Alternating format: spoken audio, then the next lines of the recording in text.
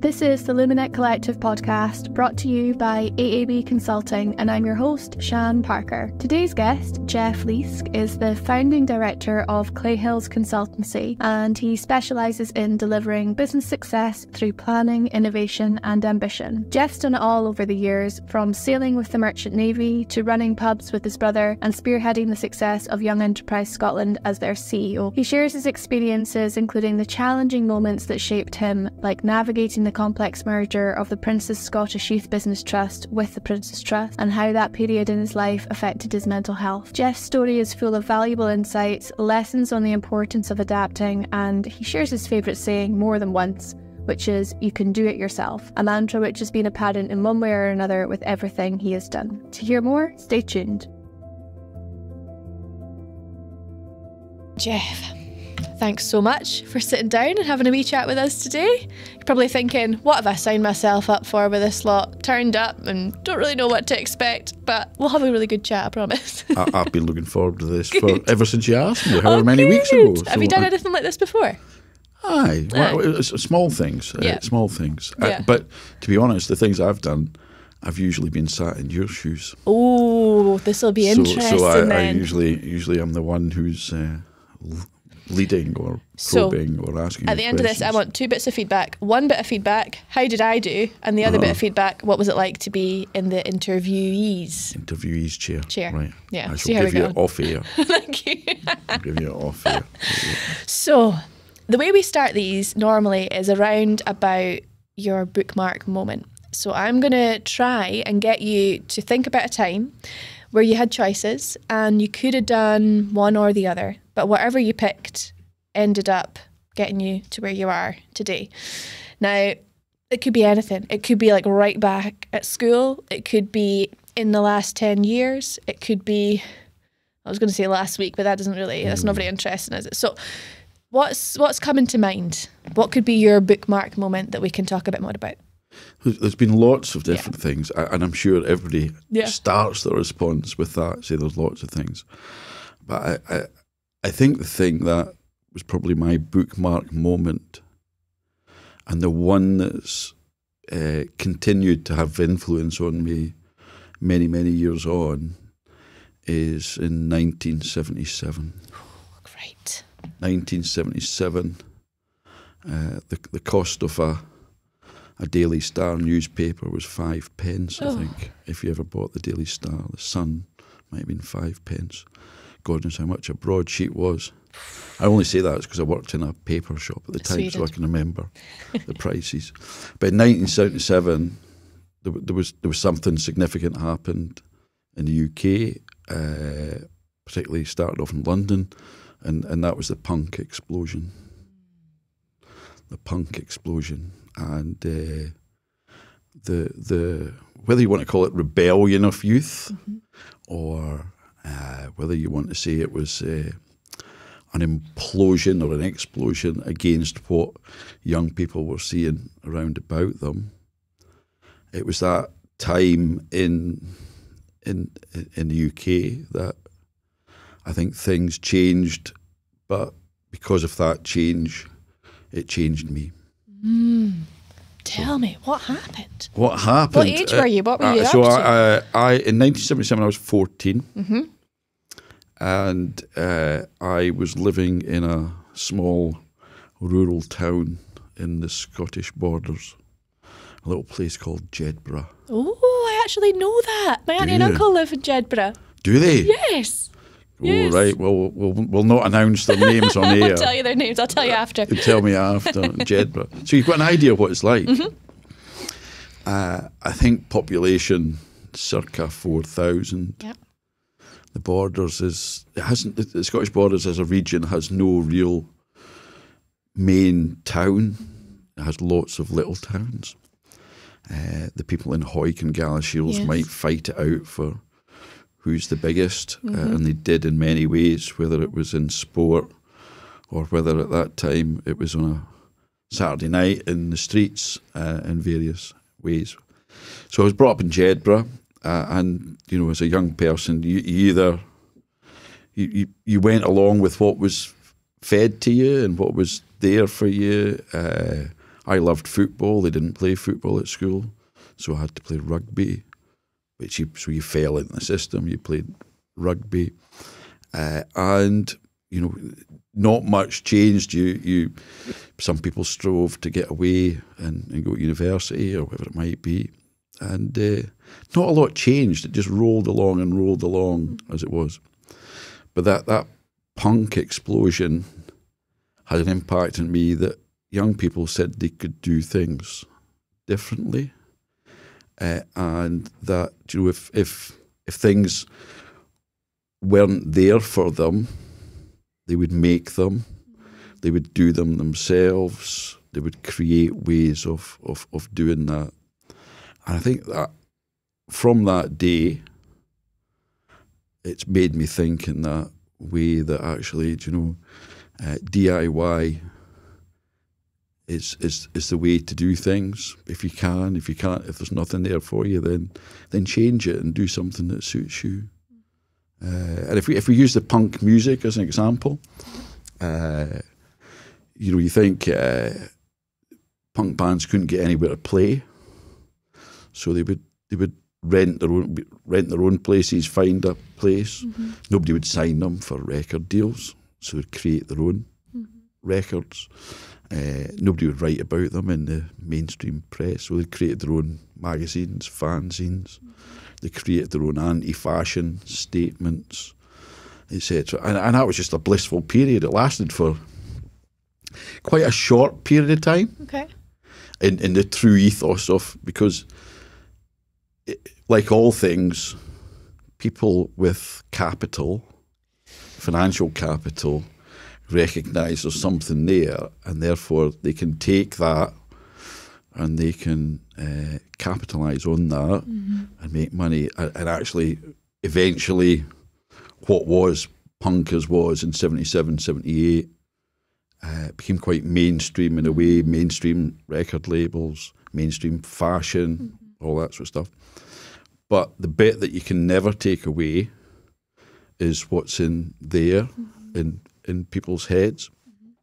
And I think that impact on people of my age round about there at that time has a lasting legacy on on, on many people around my my age today. So it's interesting you say you were 14. Uh-huh. I might butcher this, but um, might I might butcher this. I All might get okay. it wrong, Geoff. Right. My uh, colleague Julie is right into psychology. She's brilliant. No. And there's something about when you are 14, your brain almost sticks in terms of what you know at that time and you'll never forget it. So it's almost like if you think back to your 14 and if you looked in the charts to see what was the top 10 or whatever, mm. you'd be able to recite the word to every song, provided that was your jam and you know you yeah. were into it and all the yeah. rest of it there's probably an equivalent, whether it's books or uh-huh. films or whatever. But it's really interesting that you say you were 14 at that point because that's there's there's something scientifically that happens within your brain that yeah. sticks. So. No, I've, I, I, I'm no psychologist, no expert, but I've actually heard have you somebody say that before. Right. Not necessarily with regard to me. Yeah, yeah. But with regard to broader mm-hmm. conversations mm-hmm. around about that age mm-hmm. and. Uh, you know the, the recollections that you can have. Yeah. So I, I think there must be something in that. Must be something in must that. Anyway, that's cool. Uh-huh. So you're 14 uh-huh. and you've got all this stuff going on. Uh-huh. Beyond that age, back in those days, what was the done thing? Was it finish school, get a job? Was it finish school, go to uni, finish school, travel? What was the thing that you know everybody kind of did? The traditional in, route. In, there, yeah uh, we had two big, we had one big factory, and then there was another big factory came along. And considering there's four thousand people in the town, you know, one of those factories employed four hundred people, yeah. and the other one went on to employ uh, three or four hundred people. Mm-hmm. And then you had agriculture, mm-hmm. uh, and the trades, and, and, to be honest, maybe some I didn't know. I, know, never even knew what things like that were. Local government, you know, yeah. I had no idea what civil service were or mm-hmm. all that. Mm-hmm. It was just a weird thing that some people went off to work and they wore different clothes to everybody else. But so that that that was pretty much it. And then you were you were you were corralled at school. There was like a focus of attention on that exit route and what you're going to do, Yeah. and you were. I think that. Uh, I think the school had expectations. They, they, they had you. They probably had you marked out from the day you joined to the day you left, and what you were going to do, etc. Uh, but I, I left school in 1980. Uh, I spent between 77 and 80 pretty much doing average at school, but working a lot. I, I, I had sort of uh, sometimes three jobs, uh, generally two, and, and occasionally one, one in the morning, one in the one at the afternoon, and one at the weekends. But all I, I had a reason for doing it because I could buy records Ah, that was your and go to gigs. You see, Okay. so so actually, that that was that that that was the whole reason Mm-hmm. that that you did all of that. And as I approached my exit, you know, I could have stayed on for six years, but I God, I couldn't stand it. And uh, I applied. to- You, you'll know lots of airlines. You're a lot younger than me. You could ream them all off like Jet2, Ryanair, EasyJet. The list goes on, Mm-hmm. right? But probably about then there was two UK airlines, Okay. British Airways and British Caledonian. Ooh. British Caledonian's gone off the top of your head. Yeah. And I thought I could become an airline pilot. Ooh. and uh, the, the stupidity of youth or the naivety of youth. So I applied, and both said, uh, uh, Oh. uh, so, uh, but then you know you have you have a you have another light bulb moment, and, and I don't know what what was uh, what uh, c- uh, careers education or careers guidance was like for you. Oh. A wee bit dire, I won't lie. It, was dire. Yeah. I mean, it was dire. in 1980. It, it, it, it involved a room with lots of uh, folders, Yeah. ring back folders Yeah. with magazines in it, and magazines and laid out all over the place.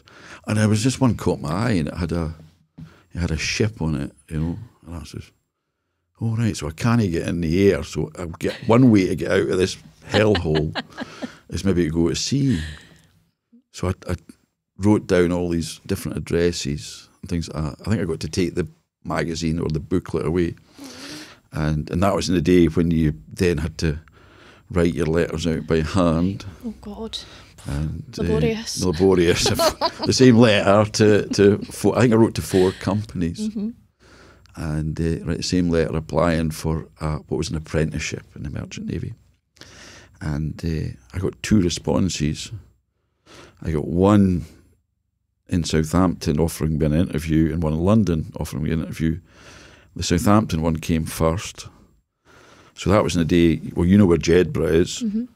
I got a lift at the crack of dawn at Newcastle. Mm-hmm.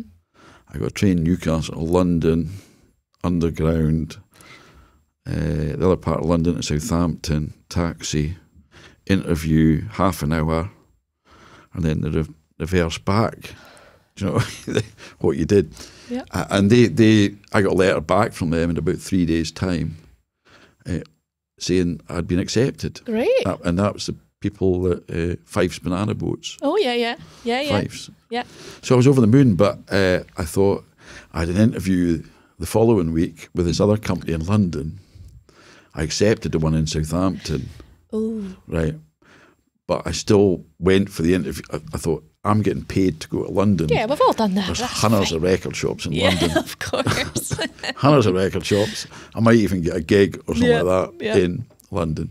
So off I went. I never, but I had no, no intention. But I think that showed through. I never got accepted. oh, do so was, uh, Oh, okay. so that was me. That was my exit strategy from Jedburgh. Right. Right. I remember that. That's funny. You say about the careers office.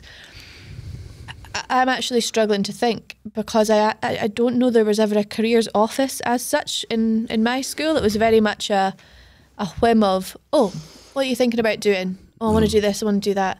Um, and I think I've said on here before that I my first thing was I'd like to be a movie star. Clearly. That didn't work out, um, but you know here we are. You're So- behind the camera now. Look, you've, you've, you've got where you wanted I to. mean, but you're just so naive, and it's almost like, how are you supposed to know? I don't think it's No. possible to know. Um, so the fact that you saw a magazine with a boat on it and made a decision and went for it and got it, good for you. Aye. Great. Great. And talk to me about that first trip, leaving home, packing your bag. How long were you away for? I was away for five months that Oh, time. Five God. months. But you know the best thing about that whole experience was I went down on the uh, the sleeper from Berwick, Uh-huh. and uh, my mum and dad came to drop me off and wave me away. I can imagine my mother. Oh, you know, yeah, got her tissue. She'd be great. She's never showed it yet. But anyway, a- and and you're live in London, Mm-hmm. and that was in the days before you had a mobile phone or anything like that. Heck. And uh, all I had was this letter because everyone was done by letter, and I had to uh, get to Heathrow to catch us the flight to go to uh, Bremen in Germany Right. Because the ship was going to be in Bremerhaven, right? And I had to, somebody would meet you at Bremen, right? That's all I had. So you go all the way out to Heathrow, and you go to the check-in desk, and the the, the, the woman says behind the desk says, uh, "There's a message for you here. You have to phone this number in Southampton." Oh, I thought that's okay. So I phoned this number in Southampton. Once you found enough, two pence for a phone or ten pence. A cheap call was two pence. You'll not remember that. I, I do remember, remember a 2p. Thanks two very p- much. I'm two over p- 30. uh, uh, two p's and ten p's. and You're chucking them in like that, right, as fast as you could. Uh, and and I phoned Southampton. They said the ship's been delayed. We've booked you into a hotel in London. They gave me the address, and you have to come back out to Heathrow the following day for the same flight at the same time. Right. I said, excellent. Result. So that's great result. yeah. So into London, into the hotel, dumped my bags, straight out, bought a, a had a copy of the New Musical Express, saw what was on, and the specials were on at Hammersmith Pally, 1980. So there I was. I, I, I was a real bonus to, to that, joining that ship. There I was at Amazing. Hammersmith Pally, seeing the specials. Fantastic. A wee boy for Jedburgh Oh. at Hammersmith Pally. What age Just were you? 17. Yeah. 17. Yeah. Brilliant. Absolutely. 17 and a half. There you go. That's cool. And then next day, Next back day over off, to Heathrow. over to Heathrow, out to Germany. Mm-hmm. I was do you know, it was a, it's just like anybody starting a new job, you know. Uh, I was speaking to a young lad yesterday, Mm-hmm. 17 or 18, been away to start a new job. And, do you know, it's a, it's a hugely daunting experience. Yeah. I mean, jumping way forward, and and uh, uh, maybe talk about when I was at Young Enterprise for ten years as chief exec. I used it was it was it was everybody had it in as part of their mantra that when somebody new started, particularly a young person, because we employed. Uh, how how you had to treat and look Mm. after somebody, because somebody new going into a job, if it's their first job, Yeah. whatever way you paint it for them, they're going to ex- their expectation is when they go to the next one, it's going to be exactly the same. So if you make it awful and bad, and uh, then then you've you've just you've done so much damage. Mm-hmm. So you've you've got to be so careful with that. I don't think they were very careful at uh, Fyffes line when I got away, but anyway. Uh, we survived. We survived. Well, you did it. I mean, how, how many years were you there for? How long did you? I did four years with three and a half, four years with Fyffes, Mm-hmm. And then kept getting made. I get made, redundant at the end of my apprenticeship. It was, remember, this was the early eighties. That's it. That's the times. Uh, all sorts of stuff, uh, and I ended up getting a job. I worked on chemical tankers for three and a half years. So I did. Right. I think I did about seven years in total in Mhm. the merchant navy. mm-hmm. But wonderful experiences. Yeah. Saw some wonderful places.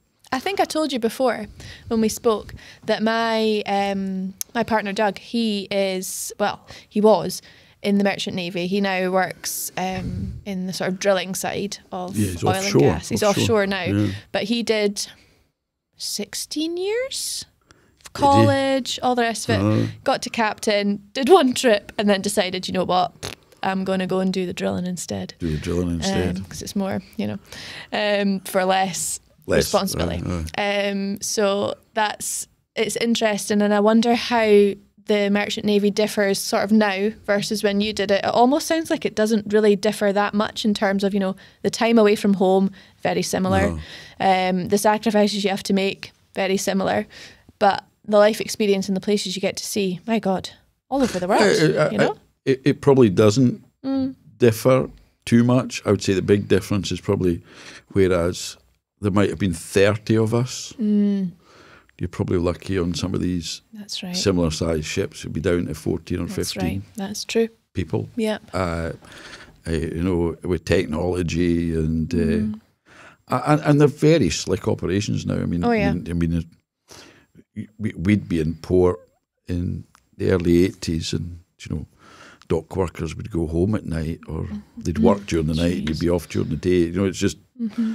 everything's everything's twenty four seven now. So That's I, I'd imagine it's quite a it's quite a tough Full on. full on now. yeah. I'd imagine. Sort of non stop. But then when you're home, you get the time off, and that's great. You know, I don't know what it was like when you did it, but when he did it, it's very much a you're away for four months, okay, you're off for four months then to kind of balance out.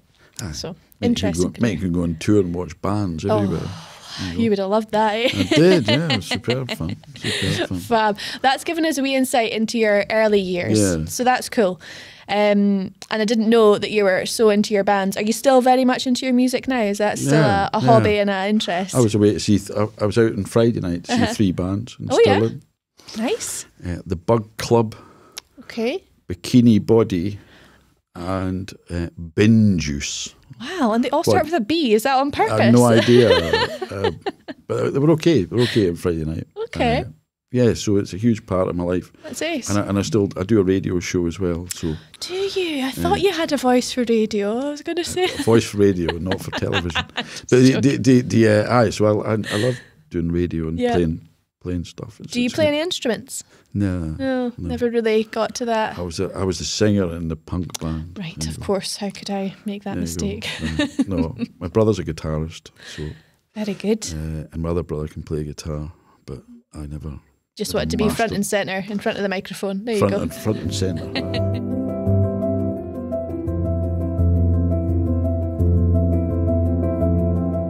You briefly touched on a moment ago your time at Yes, Young Uh-huh. Enterprise, Yeah. Scotland. Um, was that straight after? What? Where did we go after the Merchant Navy? What so happened? Mer- Merchant Navy it, it was was you you talk about earlier on about bookmark moments, yeah, yeah. and it it all goes back to that fourteen year old person that says, actually, you can do it yourself. You can do it yourself, and uh, so I, I was working in the Merchant Navy. I was I was doing shorter trips. I was doing about eight weeks, two months, and six weeks off, or something like that. And and you know you'd go home, and then you'd be told you'd been made redundant. Uh, but then they'd say you can have your job back on the same ship, but it's now registered in the Philippines, and you're going to get paid in US dollars from Hong Kong or something like that. You know. So you, and, and then you, it, it went on and on and on until, till eventually I said, Julie, this is this is no, this is no, uh, no future in this. And I so I just jacked, you know. I just I, I honestly just I, I came up to Glasgow here from the borders, and we had a thing called the shipping office in Glasgow at the Broomielaw, pretty much down where uh, all these fancy offices are for the Scottish government. And that Oh, yeah, it. yeah. So- And, and and I remember walking in and saying, "I'm just jacked." And he says, "He says, I remember the boy saying, I, I didn't, I don't blame you, son." Right. And so I had no idea what I was going to do, no idea whatsoever. But I'd always wanted to do things for myself. Always wanted, and so I wanted to have my own business, but I, I, I knew I wanted to do it in some sort of hospitality th- thing. So I, I, I got. I worked in. I worked in a nightclub in Galashiels. I worked in a country house hotel, uh, and I worked in a hotel in Edinburgh, and I worked in a bar in Edinburgh, just learning yeah. learning the ropes until eventually uh, I saw a property for sale in Hawick that was run down. It was a bar, and I got enough money together with my brother because I managed to make a few quid in the Merchant Navy, and we got enough from the brewery, some for the bank, and we bought this pub. I was aged, I was aged twenty six. He was aged 22. Nice. 22. It was a pub that had really crap reputation, fighting. Uh, hence the reason it was cheap. had everything going wrong with it. And then we had to persuade the licensing board and others to uh, enable us to have a license for this property, which we did. Uh, and off we set, and, and, and we, we, we opened the number 10 bar in Hawick. And we put, what- guess what we put on? Did we put on? Oh, Live bands. Live bands. go. Of course. And we did it all ourselves. So everything was Nice. DIY. You know, just just we did, if you didn't if you if we didn't know how to do something, we made it up and made it up, made it up until you you learned. And my God, we had some awful times. Really, uh, it was really tough. You know, Yeah. really tough. But it makes you. And uh, uh, there was there was one time when the police tried to close us down. They tried to take our li- license off us because in noise under the Noise Pollution Act, I got certain the men in the men in uniform came along with the lawyers and served us with this document to say uh, under the Noise Pollution Act we were being so I had to fight. I I remember going to the courts, licensing court, and then I remember the power of the people, regulars. That, I, it's another strong thing for me about community Yeah. whatever community. So the community that came in our bar were punks, skinheads, hippies, heavy metal, rockers. They're all they were the ones that never fitted anywhere else, Oh, I love that. right? yeah. So they and there was unity in that coming together. And, and I remember one of these, God, God rest his soul, he's, he's dead now. He was a saxophone player in the band, eh, a guy called name of Jed Gary. And his words were, We're not going to let this beep happen, right? And he was a he, he worked in the building trade, and as did somebody else, he measured up, right? And he says, right, we need so many breeze blocks, so many sheets of plasterboard, so many bits of vent, and so and so, and they they worked in, in the evenings Wow. you know, when, through the night when the bar was shut, and they create they, they bricked up all these windows, put all this ventilation system in uh, for the cost of nothing, Yeah. just so that the community still had a place for them to come. That community had a place for them to come and and to enjoy live music. Brilliant. And I remember we used to sit and look outside for the, the bloody what do you call it, the environmental health department with their their meters looking at this. and he used to, you know, we- had some fairly big bands come in, uh, and and the systems that were way beyond the size of this place. And you used to li- literally crapping yourself at night, you know, when these bands were coming. Somebody's going. But anyway, we survived. We survived, and and, and we bought another bar eventually in Jedburgh. So we ended up with two bars and a restaurant in Jedburgh, and uh, we had a good we, we had good fun. I think that's important to say that. But when you when when you're having, you know, I stopped the merchant navy because I wasn't having fun anymore, and then I stopped. Uh, I stopped the bars when I wasn't having any fun. Right. I got to the point where actually this isn't any fun anymore. It's hard work though. Hospitality is one of those sectors, industries, trades, whatever you want to call it, that is all encompassing. It's not you, you take it home. It is your home. Oh, it is your you home. know? You, you never. Yeah. I used to say you never go to bed the same That's day it. as you get up. That's yeah. But you never. You know, you always go to bed the next day, Yeah, right? yeah. You get up in the, you get up on the Saturday morning and you go to bed on the Sunday, and it, and it just rolls on and rolls Mm-hmm. on. Uh, but it's, it, it is hard. But you know, it's, it's really really nice. yeah. What was it like working with your brother? How was that as a as a family unit doing it together?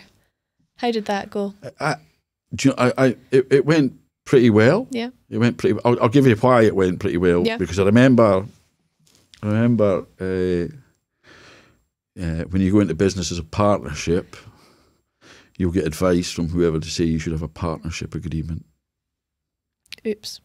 right? so you get a partnership agreement and you get drawn up by your lawyer, and, and to be honest, it's probably money for old rope for the lawyer. Uh, and just insert this and insert that, and charge you whatever they charged you back in the day. But I never saw that for ten years.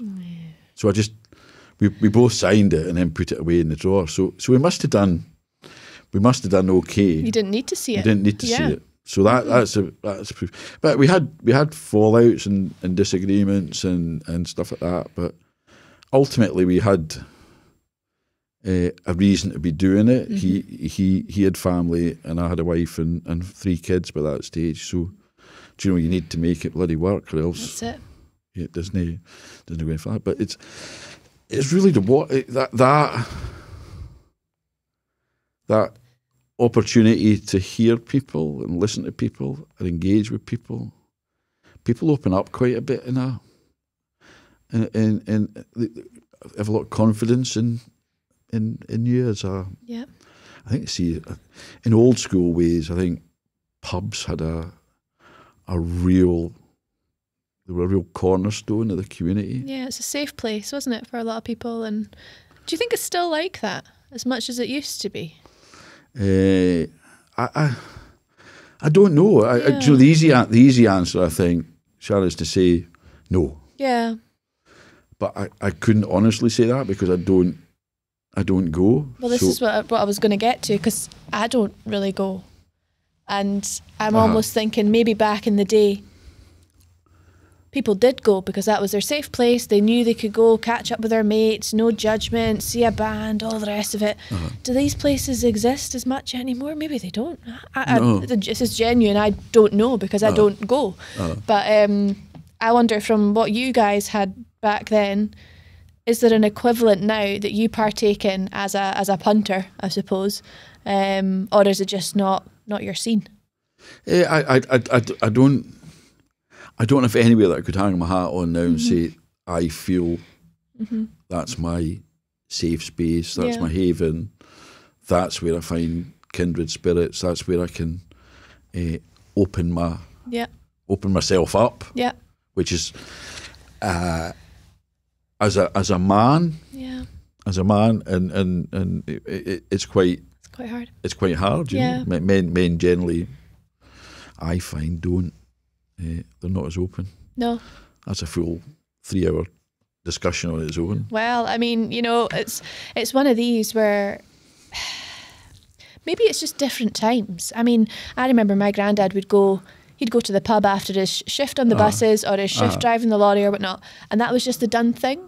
Uh-huh. And and my dad, maybe not my dad as much because he was busy working or he was traveling here or doing this. But my now my now partner, so next generation, um, he's if he's in the pub maybe once every two months, catch up with a couple of his mates. It's not like a thing where it maybe was more of a social piece beforehand. I, I don't know. I don't know. I'm just I feel like there's not as much of a community in the pub sector as there maybe once was. Um, No, I, if I give you an example, my wife comes from a village of Ancrum, which is near Okay, Jedburgh, okay. if you know that. And it had a village pub, still has a village pub. Uh-huh. And her grandpa, grandpa, who's long dead, right, even up until he was 80, 80 odd, Mm-hmm. the pub was open on weekday during the daytime, Yeah. lunchtime. He he he would still go there ev- every day, right? He wasn't drinking, or he just he, he, he, he might have had a rum, he, Yeah. he might have had a smoke in his pipe, whatever it was, but he was being looked after within Yeah. that community, and I, Yeah, I think there must still be. So it's probably an answers on a postcard. Tell us where, that's it. tell us where these are. Where are the best pubs to go and just be yourself and Uh-huh. relax and yeah, But uh, aye, it, it was. It, I got to that point after. It was like the merchant navy thing, you know. After whatever that was, seven years, and you just got to the point saying, Aye. "Nah, that that's enough." And I said to my brother, "I says, I'm, I'm getting out. Yeah. We'll sell one. Okay, You, can." He wanted to keep the other. okay. It was an easy thing to do, so we sold that, split the cash, sorted the deal out, and off we went. And I'd no again. Yeah. I had no idea what I was going to do. Funny that, isn't it? I had three kids. No idea. That's a bit of a well, it's a leap, but you obviously knew deep down you'll find something, you'll get something. You just knew this wasn't for you Uh-huh. at that point in time. You got to have trust in your I know. have trust in yourself. What did you do? What was your? So I started applying for uh, some jobs, Uh-huh. and uh, I remember going for one. Just apply anything that came up, and uh, I went for one as something to do with food wholesaler salesperson. Uh-huh. I remember coming up to Glasgow, outside Glasgow. I'll not say what part in case it gives the game away who they are. anyway, and you know, I remember sitting in there and going through this interview process, and I actually came out and I said, "See if they phone me and say I've got the job." I says I didn't want. I, I couldn't. Yeah. It was. Uh, it, it was. It was like you know all hardcore sales and believing in the product and uh, and you know not everything. You know, I could see me being uh, given ten lashes if I didn't sell. It was food products, and I'm thinking, my God, I, I, I couldn't do that. But I get, you know, it gave you an insight as to, and I went for another interview similar to that. It wasn't in the food side of things, but again, I thought, oh my God, if this is how, if that's how they're trying to entice you in, like if that's if that's the best it's going to be, oh my God, what's it going to be like when you're actually in there? Yeah. uh, and it's coming to the 28th, 29th, and 30th of the month. End of the month. I and you see your horrible. targets there, and you're only here, and you think, oh no. So, so I, I, and then there was a job came up in the in the local paper, and I'd never heard of this organisation before, and and I applied for it, and I really wanted it. I really wanted it, and it was it was an organisation called the Prince's Scottish Youth Business Trust. Oh yeah. Yeah. PSYBT. Mm-hmm. And it was for a regional manager for the borders. And it was to help young people start up and continue in business, Nice. offering them funding, advice, mentoring, all that sort of stuff. And I applied, and, and they had this, they said they had to have uh, computer literacy. I had no, I didn't have a computer, I don't think. And uh, you know, you had, I had a computer, but I had to have, be knowledgeable of Excel, doing cash flows and all that sort of stuff. And uh, I went for the interview, and and I'm still I'm still in touch. She's a very good friend of me, uh, mine, the person that interviewed me, and she gave me the job.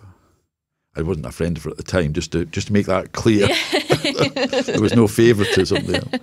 So I so and I got that job, and and it was probably it's probably one of the best things that happened to me. Wow. So so I became regional manager for the Prince's Scottish Youth Business Trust, and I ended up there for so that was nineteen. I know it was uh, year nineteen ninety nine, Uh-huh. so it was just before the millennium, and I finished there in two thousand twelve. So I was there twelve years, wow. and I ended up. Uh, I did eight years in the borders, and then I took on the role of head of operations for Scotland Mm-hmm. and then ended up director of operations and then director. So I was twelve year, twelve really, and I still, I, I still uh, speak to people that work there. We just arranged our Christmas party Nice. uh, uh, in a few weeks' time for people that work there, and I still bump into so many young people who are not so young anymore. oh, that you helped with so, their so- business. so that the organisation gave a hand up Uh huh. Uh to with funding and connections and advice and support. And some of these are massive businesses now, Brilliant. really massive businesses. You know, Yeah.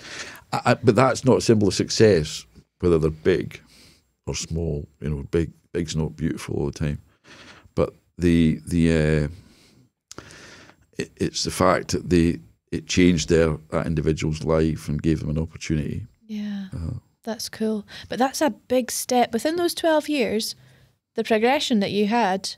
So the top, th- the, the last three roles that you had there, was that in quite a short period of time? I mean, what sort of. So I was, I was regional manager in the borders for eight years. For eight, okay. And then I was head of operations, then director of operations, then director. Yeah. The chief exec stood down, Yeah. and uh, but it was a, it was in a period where uh, uh, the prince uh, uh, decided that he shouldn't have as many charities. Right.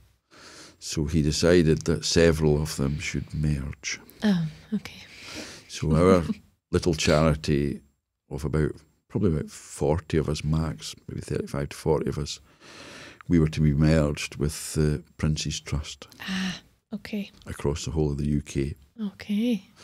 So uh, that was an experience I'll, I'll never forget. Yeah. That was a year of uh, challenge. Okay. Uh, I, I, and it's broadening the debate around about the word merger gets used, but when somebody so small becomes part of somebody so big, it's very difficult to uh, see a, a, a, a parity of opportunity. You know, the, the decisions have been made already as to what shape things are going to look like in the end. And I, I spent quite a bit of time in Glasgow then, and I used to spend quite a few nights just overnight instead of travelling up and down the borders. Uh, eventually, I moved to Stirling, but when I was travelling, I remember uh, walking along the quayside into, into town one day. It was about half seven in the morning. I was going to the office, and there was there was a pot of paint lying there, and it wa- it was a it was ones one of the ones you used to get on on uh, on the ships. We used to buy for painting the side of the ships. Mhm. Uh, mo- I mean, you know, one of these monster Yeah. things that was Yeah. metal lid and things like that. And I, I thought to myself, if the big company, the big organisation, is that big pot of paint, and it's black paint for the side of the ship, and this small organisation is about this size, one of these small half a litre Mm-hmm. tubs of paint, and we're white. And you wouldn't mix it in. notice That's it. The paint's going to be pretty black. Yeah. Yeah. We're not going to have much. And I, and I always remember that walking along the river, and it was like, do you know, I, I, I, it's very difficult to make your voice heard in that situation. It's probably one of the toughest years of my life without going. Do you know, it's uh, it, it drove me to uh, pretty much being unwell for a Okay. period of time, you know. Uh, but through that difficulty, I think it makes you a stronger. So cliche. It sounds sounds very cliched, Uh, but sometimes you've got to go through that crap to Yeah. to realise what what you have within yourself, Mm-hmm. what you have within the people round about you, uh, and what you have within your your your family. You know, and uh, when I say people round about you, it's the people within work in Yeah. that environment. Yeah. But you don't always appreciate the strength that you have until you've you've gone right down to the bottom. Uh, it, it's uh, so that was a year of a year of pretty much torment. After after quite a, a I think I think it was the it was probably the opposite. It, it- it- probably because of the two extremes. Yeah. Because with with with, with PSYBT we were really on on the crest of a wave and doing so much good, and, and it's not that the next the, the the next iteration of the organisation was not going to do good for young people. It was that significance of it was the significance of the change and the way that things happened that impacts on on you personally quite a lot, mm-hmm. and it takes a lot to takes a lot to work that out in your head. But I had good, as I said, I had good people around about me in the Yeah. workplace, and, and I would never have survived if it wasn't for my family. So Wow, that's amazing. hats off to them. I mean, it's it's so true, isn't it, that we're- we're not all great at, at speaking up when we are faced with something that's difficult. Sometimes we can be quite. I know I can hold it in and just get on with it, put a happy face on, a crack on, and then eventually, you know, it all comes out because I can't hold anything in for too long. Oh, if without having your family, friends around you, obviously you mentioned your work colleagues as well, Yeah. but and, and you can only talk about however much you want to talk about on, on it, but I think it's an important subject. And I'm sure that many people have dealt with it or are dealing with it, and obviously will also go through it at some point. Other than just kind of talking about it to those around you, what other things did you do? And, and, and maybe what was the point that you thought, you know what, I'm actually not going to put up with this anymore and I'm going to do something different? Um, take that as you will. If, if it's a subject I, you want to. the- the- the- I mean, it, it it came to the point where I says uh, it, it's a it, it's a consistent thread here. When enough is enough. Yep. Actually, when enough is enough, you, you you just stop going. But because of because of the nature of that organisation and the people looked out for each other, and when I took that step up to become the director yeah. and we were going through that, I focused so much on trying to look after everybody else Yeah. that in all of that, I, I, do you know, I never really looked after myself mm-hmm. until it got to, and, and you know, everybody would come at you with what was a, a massive issue for them, and you're trying to fix things and fix things and fix things and juggle f- back and forward, and you were the, the go between. And remember, you're not just got 30 or 40 in the staff team, we had some like, we had five or 600 volunteers, right, of course. who all had an opinion on everything. And uh, eventually, it, it just,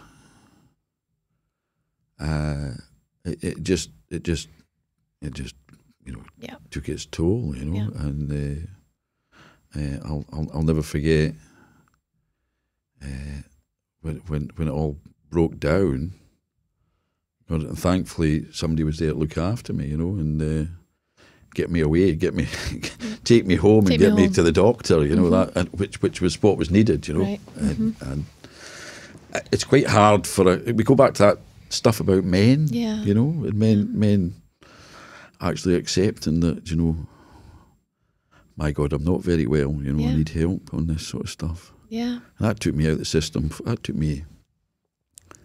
That took me was it about six or eight weeks? I mean, it's not that long in the grand scheme of things, but it's a considerable amount of time Oh, aye. when you're in it.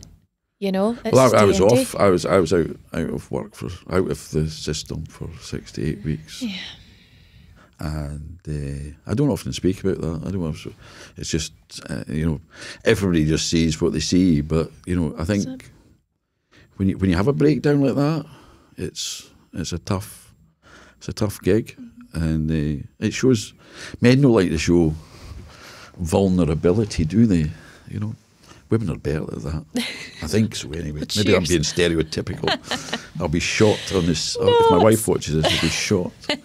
But it's the reality because of the society that we live in, right? It's not a. Ah.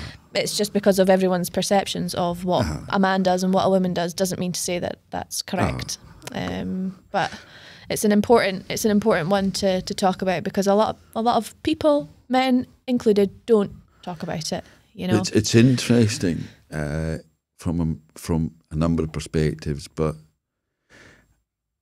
it, it's that having that lived experience of Yeah. having had a, a breakdown like that, yeah, and actually then being in, you know, I, I went on to Young Enterprise Scotland after that, Mhm.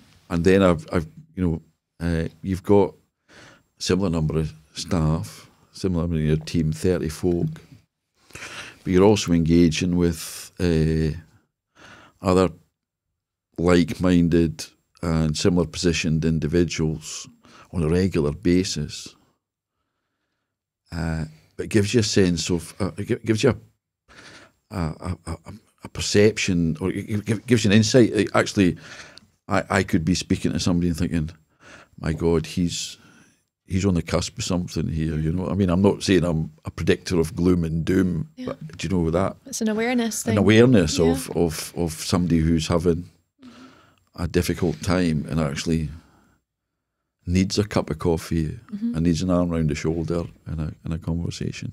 Yeah. Aye, so so anyway, I I, I, I, I did zap after that. I, Yeah. I, I, I I jacked the Prince's Trust uh, in July 2013. I think I left. Right. July 2013. Right. That was my fond farewell.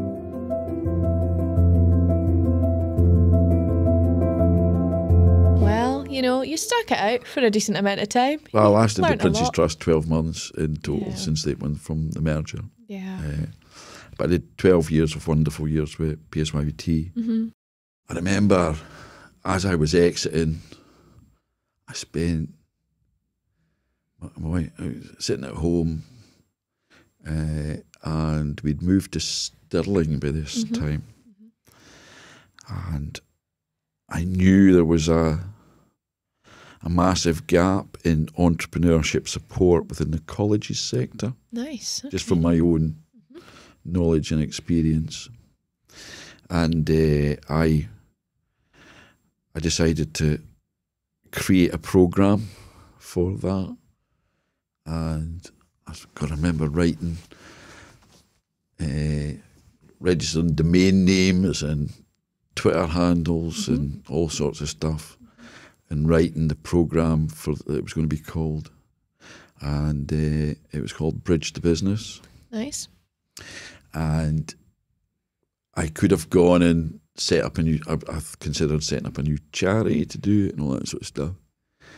And I, I, I stuck to my guns because I've always said I, I, I, I believe there's too many charities competing for too much, too little money, and instead of focusing on the issue that mm-hmm. they're trying to solve, and then he's anyway. So I, I, I had this package of Bridge to Business ready, and that instead of setting up something new, I wanted to find out a home for it within a, a sort of an organisation that would make a good space for it. Mhm. And I ended up with Young Enterprise Scotland. So Brilliant. that's so they took it on. I think they were keen to get the, get the money that the government had said they would give me, because the Scottish government said they would give me money for a pilot year. Nice. So, uh, so off I went to Young Enterprise Scotland in August or September of that year, 2013, and the Bridge to Business programme was born in City of Glasgow College, Great. and now, ten years on, it still happens in most colleges across Scotland. That's ace. Oh Yes. God. So, So that's a good one. So interestingly, that they took on your idea. Obviously, you had a bit of funding behind you. Fine. What do you think it was about the program that made Young Enterprise Scotland go, "All right, we'll take that. Yeah, we'll give them a chance. We'll give it a go." uh, I, I think there's an element of the cash, if I'm being brutally honest. okay. right? Uh, let's just be realistic. Let's here. be realistic, and it was a good time of year. Their Yeah. their year end was the thirty first of August or whatever it was, and do you know it'd be a nice nice Yeah. little bundle to roll in. But I think from the, the, that that that could seem quite cynical, but the the from a, a director's perspective, from from those that were overseeing that opportunity, I think they would see something that gave them a new route to market, Yeah. an increase. It wasn't doing something that was different. It was just they were very well known for their work in primary and secondary schools, Mhm.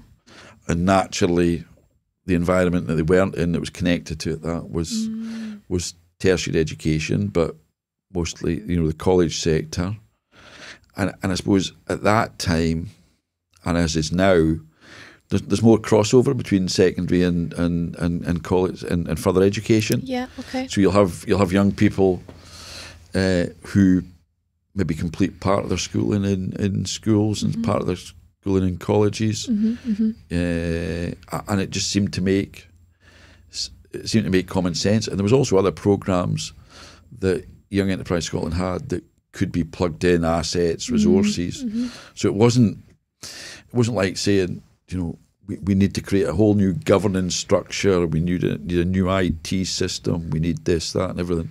basically it was just Great. was just another person and and, Yeah. and, and setting it up. So Yeah. aye, so uh, I, and I, I was there for a, year setting that up, and then the chief exec of Young Enterprise stepped down, hmm and I took on. They asked me to take on the role of chief exec a year later, so that was in two thousand and I think that must have been two thousand fourteen. I think hmm ish. And I was there until last August as chief exec. So Jeez. That's that, ace. that was a good time. Yeah, and you, you time. enjoyed enjoyed it. How how did that compare to your obviously Well, you know my, yeah my previous chapters. Aye. that uh, that was tough. yeah Uh, it, it it it was in a. I don't think I'd be giving anything away. It was in a because all of the information's in the public domain, so you can go into a Companies House and have a look. But if uh, you looked at uh, the fragility of the organisation in 2014, we were hanging on by a a, a, a, a whisker. I was going to say something more rude, but we're hanging on just. And if it wasn't for the chair, we appoint they they appointed a new chair and myself, and uh, this is her words, not mine. She she's very much she was very much a street fighter, okay. And I was a get shit done mm-hmm. person. mm-hmm. So, uh, it, it, uh, many might have looked at it and said, uh, it's not very strategic, but it wasn't about strategic at that point. It was about survival. yeah Uh, but gradually, as we, uh, uh, I remember, I remember creating a spread. Well, uh, I'm not very good with spreadsheets, but my most trusted person in the organisation, who's still there, she, she created a spreadsheet, and literally we used to look at that every morning to see what we're paying and what we're not paying. I'd love to see that spreadsheet now. Go back about eleven years, but I'd love to go back and look at that would be interesting I yeah would love to go back, Yeah. and uh, but basically, we and and I think we were speaking offline before about you know tough calls and making Yeah. people redundant, yeah and that that was that was a hard time. That very Yeah. you know you've just been asked to take this on, and you've been working alongside these other people on a on a par, just Mhm. as one of the team Mhm. uh, and you get asked to take on the chief exec's role in July, and by September and October, uh, you're having to have conversations with people about there's not a there's not a role here. it's really tough yeah Aye. so, Yeah. uh, aye, so that that. that but you know, it- sometimes you've got to cut things back to Mhm. start again. Mhm. And uh, 10 years on, they have a huge presence, Mhm. big team, relationships with the Scottish Government, Mhm. relationships with people internationally. They've taken students abroad. Uh, they have digital presence. So, so it was a good. It's something I'm pro- if, if if there's many things I'm proud of, but that that nine or ten years were just uh, uh, was great, and and the people that stuck I had a good recruited a good board of trustees, Mhm. and and but more they they were great, but the people that stuck with us and grew as a team, I ended up hardly doing. It it, it ran itself. The, Yeah. the, the the autonomy within the organisation, the creativity, Mhm. very values based, and they just got on and did stuff, right? And they were uh, they were always trying to do something new and always innovating and and uh, I I'll look back at that nine or ten years. I think I was there ten years, but I think it was nine years as chief executive. I'm not sure. Yeah, yeah. I look back on that as uh, as one of the proudest things in my working life, doing that. That's really cool. Um, but you mentioned something there about the team, how they were all very autonomous, super creative, innovative. You could trust them, all the rest of it. Do you think that that's in the team member, or do you think that comes from the leadership? How, how do we get the teams to be more like that? Are they just like that as people and that's why we've hired them? Or is there stuff we can do as leaders to help get more out of your team in that way? Uh, as leaders, we have a responsibility to do that. Mm-hmm. Uh, do you know, uh, it's a responsibility. Anybody that doesn't do that, they, they, they, they shouldn't be there. They, they honestly shouldn't be there. And the the answer to a problem, the best thing to do with anything lies in the hands of the person that's closest to that, right? And and you you uh, you know, uh, assume permission and expect forgiveness. Yeah.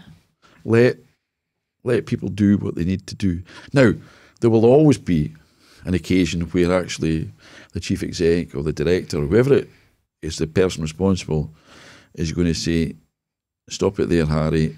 I'm, I'm going to have to say that that's yeah. we're, we're, pausing that just now because actually it, it's just not the right thing, or whatever it might be. There's and, and there's way there's right ways to do that, but you you you need to give people the the freedom to you need to give them the freedom to fail. Mm-hmm.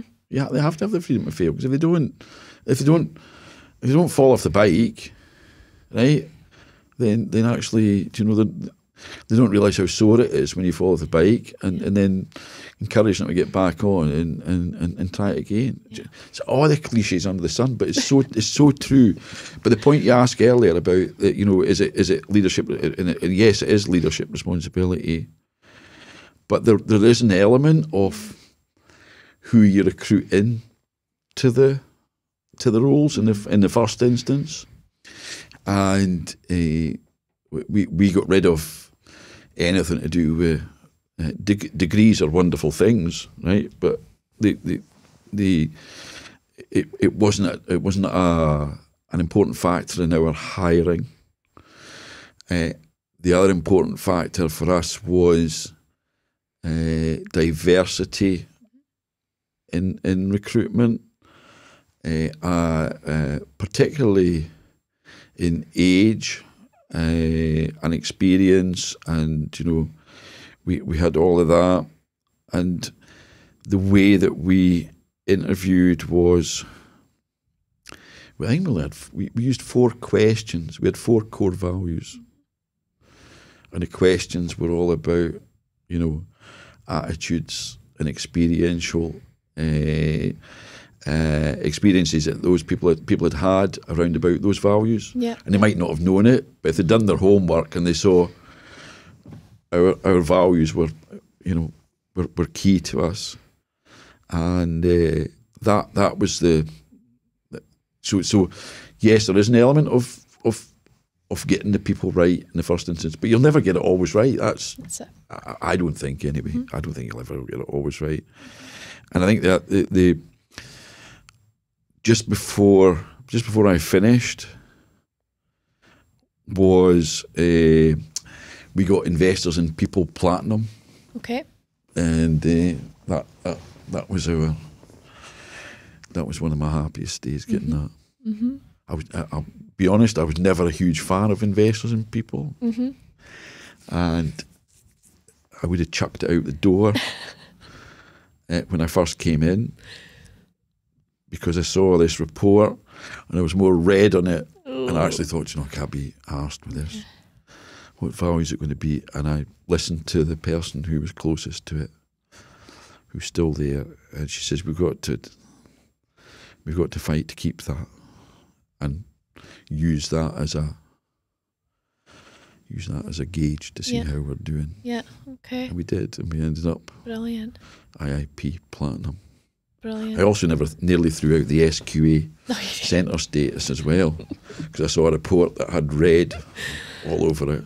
Oh, we're just ingrained to having seen the red on reports or tests or anything. It just it's PTSD. I, I, I just know? said, "Oh, I, I should get get rid of that." And, yeah. and and and the other person I I asked uh, I asked a few people and they said, "Geoff, don't chuck that out." Yeah. It's just you'll never get it back. Repair it and work hard. So we did. Brilliant. So God, so a great number of years there, and then that ended. Did you Yeah. say just last year? August, la- July, July, end of July last year, 2022, Right. I finished. So you've had a year Uh-huh. of not being an employee technically. Yeah, aye. How's that been? marvelous. Yeah.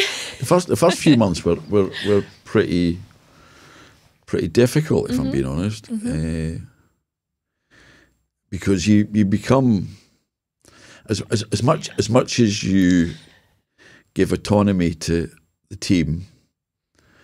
There, there's people still looking for a wee nod of thanks or an approval or right just wee nudge here and a wee nudge there. So when you had 30 people running around you and all these volunteers, you were quite a busy person Yeah. always doing that. In demand. It, Aye. Mm-hmm. Mm-hmm.